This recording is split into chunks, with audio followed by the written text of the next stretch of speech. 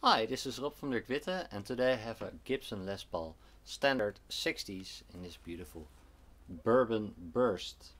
This has a solid mahogany body with a double A figured maple top, a 60s style neck uh, and this has uh, the 61R uh, humbucker in the neck and the 61T in the bridge which sounds really good.